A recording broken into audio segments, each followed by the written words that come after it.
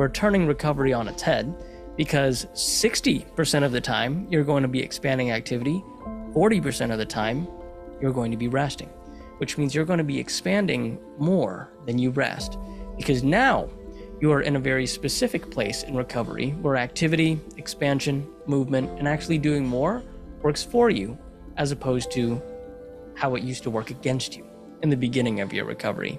You see how different stages play different parts and different roles and can work in different ways. You just have to know kind of where you are, which stage you're in, and how to apply that.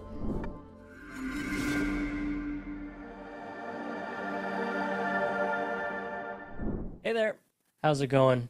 Coach Junior here from the CFS Recovery Team, and today we're going to be talking about the topic of the four stages of recovery. Now, just to preface before we get on with this video, by no means am I a medical professional or a doctor, mental health therapist, or any type of medical professional just in general, right? So we can get that out of the way. I'm just somebody who has simply gone through this, much like yourself, has recovered, and really taken notes, gotten the privilege to talk to literally thousands of people now at this point, and taking this information and giving it back to you in hopes that you can skip a few steps, learn from my mistakes, and hopefully it'll help you along your journey in recovery. Okay, with that out of the way, let's talk about the four stages of recovery and why it's important. I'll tell you why it's important. It's because within each different stage of recovery, each stage is approached a little bit differently. And what works for you in one stage could actually work as a disservice to you in another stage. Now, with these stages of recovery, I don't really like using numbers one, two, three, four. Mm, that's not really my style. That's not really my thing. I like using colors more so because it's a better representation of where somebody's at along their journey. Now, split into four colors. We have red, which is the lowest stage, which means these are people who are really debilitated. These are people who can't walk, can barely speak. It's very difficult to even sometimes roll over in bed, drink water, eat food, right? So, this is the lowest stage. Uh, this is where the nervous system is pretty much the least resilient. And then we kind of move into the next stage, which is orange. Orange is what I like to call the activation stage, because in this stage, what it looks like, instead of uh, being just tired and debilitated, it's more of a wired and tired. But we'll get to that a little bit later. Moving on up into the third stage is what we call the yellow right? And with the yellow, introduces a little bit more mobility, allows for a little bit more freedom of expression and movement, whether that's physically, emotionally, or mentally. And then at the very top, the final stage, which is normalcy or a very resilient nervous system, is the green. Now, let's rewind a little bit. Let's backtrack. Let's talk about the red and kind of move up the different stages and teach you how to approach each stage a little bit more effectively and efficiently. So, we kind of have a pretty good idea of what we're doing here. Okay. Now, with the red stage, like I said in the beginning, this is a very debilitating stage. Very, very physically limited in this stage. A lot of times when I talk to folks who are currently in this stage, it's lights out in the room, very dark, blinds closed, in bed, very difficult to look at a screen, very difficult to even carry on a conversation or merely rolling over in bed very light sound and uh, stimulation and touch sensitive from what I've seen as well. Just extremely sensitive overall. That's from the physical aspect. This is the physical experience of their condition. Remember, this condition is not just physical. It plays with the body, absolutely, but the mind is also involved. So, mentally, what it looks like for somebody in the red, uh, there's not too many emotions that one can feel honestly, it's a lot of hopelessness. It's a lot of helplessness from what I've seen. And it's a lot of very, very dark thoughts, unfortunately. Okay. So, mainly the main approach that any type of coach or myself would take whilst working with a thriver like this is really getting them into a state of rest, not just physically. Because what we've seen is that physically, these folks can't move, right? It's very difficult for them just to roll over in bed or maneuver around. So, physically resting, that's not really the problem. When I ask someone to physically rest in that stage, it's not even like they have a choice, to be honest. They're just very limited whether they want to be or not. but more so getting them to mentally and emotionally rest. Because when I speak to these individuals, there's a lot of mental and emotional turmoil going on inside, right?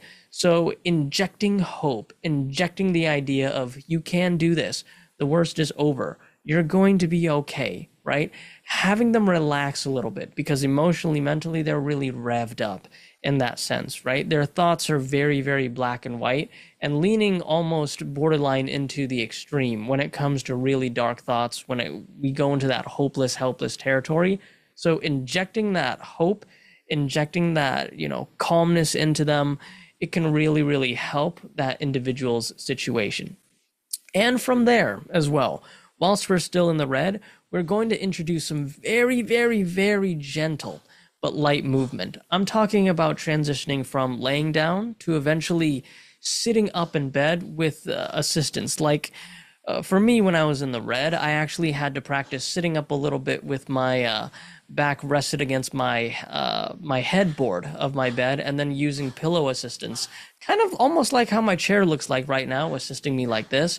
And I would sit up a couple times a day, um, not for long either. Usually, when I work with folks in the red, maybe having them practice one or two times per day, maybe about 10 to 30 seconds maximum. Okay. So we work those folks from about sitting to the, uh, you know, with the with their backs assisted uh, up against the bed, eventually transitioning them to sitting up for longer periods of time, introducing a little bit more frequency, and then from there graduating them into sitting up on the side of the bed unsupported and then having them practice that. So we're going from laying down to eventually sitting up using the headboard or the wall as some assistance, bringing some frequency up there, and then moving them to the side of the bed, and eventually from the side of the bed into a wheelchair, and then kind of getting them moving around the wheelchair a little bit, okay? And then after we get them moving around the wheelchair a little bit, then we'll transition into a walker or an assisted aid device for walking. I don't like folks transitioning from wheelchair to just practicing standing on their own two feet. I feel like that's a little bit too extreme, especially if the body is in a very sensitive place. Now, when that starts taking place and they become a little bit more mobile, going from wheelchair to walker, and then kind of moving around the house, we're going to start entering, the body's going to start entering what is called the orange zone. So we're going to graduate out of the red into the orange. What's going to happen in this stage physically is that energy is actually going to start coming back to the individual. Okay. But energy is not going to come back in a genuine way. It's going to come back in a, unfortunately, in a way that produces a lot of adrenaline.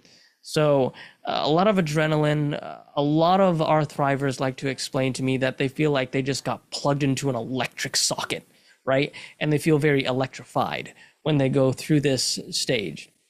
Unfortunately, this is the stage where a lot of folks find it very difficult to sleep because they have so much adrenaline going through them. I remember when I was recovering going through this stage too, every time I would fall asleep, I'd close my eyes, fall asleep for about 30 seconds, and then have this sensation like I was falling off of a cliff and then doing this as I was falling asleep. Ooh, and it would literally like jolt me back up. So I totally understand these folks when they talk about, I feel like I just got plugged into an electric socket. Same thing with me. When I would fall asleep, it would jolt me back up. So a lot of adrenaline, a lot of panic going through these people's bodies in this orange stage. That's what it looks like physically in the orange stage. Mentally in the orange stage, what it looks like, a lot of doubts, a lot of racing thoughts. So that's, you know, the mind is going probably in this stage at about a million miles an hour, maybe even faster than that. And not just that, people's emotions in this stage are extremely unstable, right? Swinging from one extreme to another, and oftentimes it's uncontrollable. I've actually witnessed somebody on a one on one call in this orange stage literally going from a fit of rage where they were pretty much yelling at me to eventually shifting into a very sad, tearful, apologetic state within the span of literally 15 seconds. Okay, so very unstable emotions as well. If you are a caregiver watching this video and you have somebody that you're taking care of in the orange, don't take it personally. This is happening on a, a chemical level from what we've observed as coaches. Okay, now when we transition from the orange into the yellow because how the orange is approached is very similar, believe it or not, to how the red is approached. You want a lot of physical rest, trying your best to kind of take a step back, observe the emotions, observe the thoughts, not really engage with them uh, too deeply. Um, and then eventually they'll graduate into the yellow, right? And with the yellow, this is what I like to call the smoke clearing a little bit. The smoke kind of clears, the body stabilizes a little bit, the adrenaline starts to lower within the body, revealing the true individual's baseline. Okay? Here's where people actually get stuck and confused is because when the individual's true baseline is revealed, their main symptoms actually start to go up. So if it's pain, you'll probably experience more pain. If it's fatigue, you'll probably experience uh, more profound levels of fatigue kind of going up as well. But what they will notice is that their very strange anxiety symptoms will actually start to lessen, but the fatigue will actually start to go up as their true baseline is revealed. This is what I call the clearing of the smoke, and this is your starting line where you want to go. And what I mean by that starting line where you want to go, this is the appropriate spot for me as a coach to be able to approach the individual and say, all right, let's start beginning the adjustment period process. We're going to go out of your comfort zone a little bit, very gently, very slowly, and uh, we're going to flare you up a little bit. We're going to pull back. We're going to relax. We're going to take it easy for the majority of the time, feel a little bit better, and then we're going to repeat the process. Once you're starting out, at least in the beginning of the yellow, the ratio of expansion to rest is pretty big. So, at least for me, when the smoke started clearing for me and I started entering the yellow, my body stabilized a little bit more. My expansion was about 10%, my rest was about 90%. So, it was about a 90 10 ratio. Over the, the next few weeks, you know, your body will start bu- building a little bit more resiliency. You go from a 90 10 to about an 80 20, right? over the course of the next couple months, you go from 80 20 to 70 30. Keep consistent with it for another few months. 70 30 turns to 60 40. 60 40 ultimately turns into 50 50, which means that you're expanding half the time and you're resting half the time. Once you get to this place, when you're expanding half of the time and then resting half of the time, here's what you should notice is that when you do activity, when you go out and expand, sometimes half the time because you're there 50-50 exercise and movement and just engaging in more activity and being more active actually makes you feel better half of the time than worse. That's what actually i've seen as a coach communicated to me. Junior i'm getting to this place now where it's kind of weird. I used to do stuff and i would always pay for it afterwards. Now i'm in a weird funky spot because half the time I, I do end up paying for it. The other half of the time, I actually end up better for it. Good. You're probably in that 50 50 spot, which means you're about halfway there in recovery, which is good. And then what happens is the ratio actually shifts. You go from 50 50 to 60 40 again. But we're turning recovery on its head because 60% of the time you're going to be expanding activity, 40% of the time you're going to be resting, which means you're going to be expanding more than you rest because now you are in a very specific place in recovery where activity, expansion, movement, and actually doing more works for you as opposed to how it used to work against you in the beginning of your recovery. You see how different stages play different parts and different roles and can work in different ways. You just have to know kind of where you are, which stage you're in, and how to apply that towards recovery. And that's why I believe having a coach is so unbelievably important. All right, let's get back to it. Once we get to about 60 40, that turns into about 70 30. 70% uh, of the time you're doing stuff, 30% of the time you're relaxing, right? And then we get to about an 80 20 split. This is about the sweet spot, okay? Here's why I say it's the sweet spot it's because 80% of the time you're going to be doing stuff, being fairly active, just like kind of how a regular person is. But about 20 to 30% of the time, you are going to make a voluntary active effort to rest, to relax, right? We don't want to push, push, push, push, go, go, go, go, like how we used to do, get to the point of overwhelm, and then we we keep going and getting ourselves in a lot of trouble. We're not doing that anymore, okay? Because we've changed. This is not just a recovery journey physically, this is a behavioral recovery journey too. And by the time you build yourself up to that place, behavior wise, they should have caught up to you as well. And you should have understood, at least by then, because you went through this entire journey, how important that fundamental concept of introducing balance back into your life, even when it's quite busy, in order to sustain long term health. Okay? You want to stay about 80 20 because that's where regular people live. And you'll start to notice more and more and more and more normalcy. And then with consistency, uh, pretty much the symptoms will start to, to shed off and go away on their own. For some people, it takes longer than others. Don't compare your journey to others because yours is unique. Okay. I heard a phrase the other day that says it's not fair comparing yourself um, to other people because that means you see them as ahead of you. In order to see somebody as ahead of you, it means you must walk the same path as them. There's no such thing as an individual that walks the same path as another person.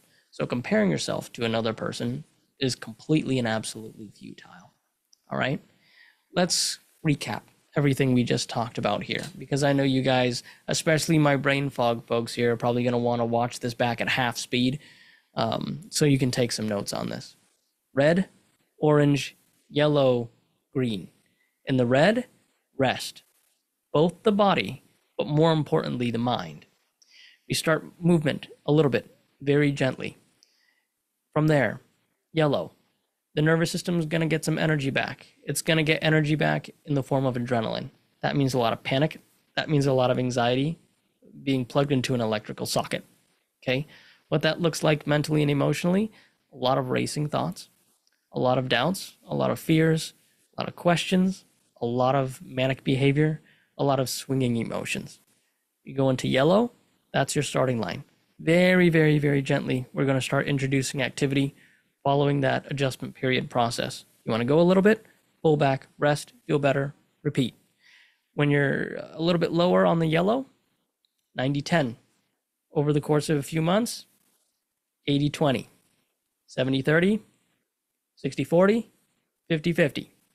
50 50, you should be doing half expansion, other half resting. Then you flip it upside down 60 40, 60 being expansion, 40 being resting. 70 30. 70 being expansion, 30 being resting. 80 20. 80% of the time you're doing stuff, 20% of the time you are voluntarily resting. Sustain. Stay there. Do that consistently, you're done. You healed. Okay? That is the four stages of recovery. Thank you guys so much for watching this video, and I will see you next time. Let's say that CFS recovery is absolutely the real deal. I actually felt like somebody had an answer, like somebody explained what was going on, and it all clicked.